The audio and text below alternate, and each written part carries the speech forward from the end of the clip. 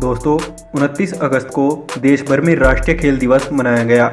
न सिर्फ़ आम लोग, बल्कि देश के प्रधानमंत्री नरेंद्र मोदी और कई फिल्मी सितारों ने अपने अंदाज में इस खास दिन को मनाया। पीएम मोदी ने राष्ट्रीय खेल दिवस पर फिट इंडिया मूवमेंट का शुभारंभ किया। इस अभियान का हिस्सा बॉलीवुड अभिनेत्री शिल्पा शेट्टी भी रही। शिल्पा शेट्टी ने फिट इंडिया मूवमेंट के लिए प्रधानमंत्री नरेंद्र मोदी की तारीफ़ की है। शिल्पा शेट्टी ने दिल्ली में हो रहे प्रधानमंत्री नरेंद्र मोदी के फिट इंडिया मूवमेंट आयोजन में हिस्सा लिया। इस दौरान शिल्पा शेट्टी ने मीडिया से बात करते हुए फैंस से आग्रह करते हुए कहा, मेरे साथ प्रधानमंत्री की इस पहल से जुड़े फिट इंडिया मूवमेंट का मतलब हफ़्ते में तीन दिन 20 मिनट तक व्यायाम करना है।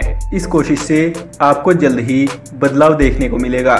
शिल्पा शेट्टी ने आगे कहा, स्वस्थ रहो, मस्त रहो, यही मेरा फिटनेस मंत्र है। इस भागदौड़ भरी ज़िंदगी और प्रतियोगी दुनिया में खुद को फिट रखना बहुत ज़रूरी है। इसलिए मेरी आपसे गुजारिश है कि मेरे साथ माननीय प्रधानमंत्री नरेंद्र मोदी की पहल फिट इंडिया मूवमेंट के साथ जुड़े।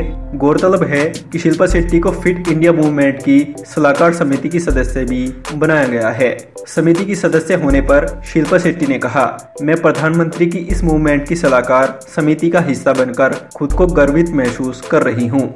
आपको बता दें कि फ़िल्मों के अलावा शिल्पा शेट्टी अपनी फिटनेस की वजह से हमेशा चर्चा में रहती हैं। बीते दिनों शिल्पा शेट्टी को पतले होने की दवाई का विज्ञापन करने के लिए 10 करोड़ रुपए का ऑफ़र मिला था, लेकिन उन्होंने इस ऑफ़र को ठुकरा दिया था। दवाई का विज्ञापन न करने पर मध्य प्रदेश के पूर्व मुख्यमंत्री शिवराज सिंह चौहान ने शिल्पा शेट्टी की तारीफ़ की थी। उन्होंने शिल्पा शेट्टी के ट्विटर पर तारीफ़ करते हुए लिखा, समाज के प्रति सेलिब्रिटी की भी ज़िम्मेदारी होती है, जिसे अभिनेत्री शिल्पा शेट्टी ने बखूबी निभाया है। उन्होंने स्लिम पिल्स के विज्ञापन के 10 करोड़ के ऑफ़र को केवल इसीलिए मना कर दिया क्योंकि उन्हें प्रोडक्ट के परिणाम पर भरोसा नहीं था। यह उनका प्रशंसनीय कदम है, इसीलिए मैं उनका अभिनंदन करता हूँ। दोस्तों, पीएम मोदी के फिट इंडिया मूवमेंट के बारे में आप क्या कहना चाहेंगे? प्लीज़ हमें नीचे दिए कमेंट बॉक्स में ज़रूर बताएँ। और ऐसी ही नई नई वीडियो देखने के लिए हमारे इस चैनल को सब्सक्राइब करें। धन्यवाद।